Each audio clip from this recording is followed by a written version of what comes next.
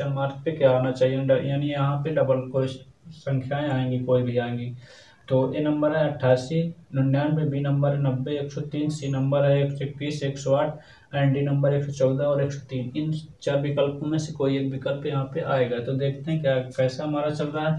यदि हम देखें, यहाँ पे सत्तानवे है, अगर यहाँ से एक छोड़ते हैं तो सत्तानवे दो सत्तानवे दो। अगर प्लस कर देते हैं तो हमारा निन्यानवे हो जाता है। फिर आगे निन्यानवे के देखते हैं क्या होता है। निन्यानवे में अगर हम दो प्लस करेंगे तो हमारा कितना हो जाएगा? एक सौ एक हो जाएगा। अब इसी आधार पर हम देखते हैं, हमारा आ रहा है कि नहीं अगला क्वेश्चन अगर एक सौ एक में दो प्लस करेंगे तो हमारा आएगा यहाँ पे एक सौ तीन।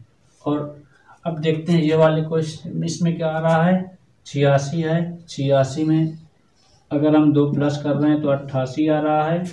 अट्ठासी में हम दो प्लस करेंगे तो कितना आएगा? नब्बे।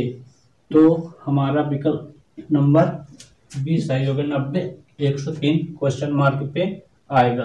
तो यही हमारा बी नंबर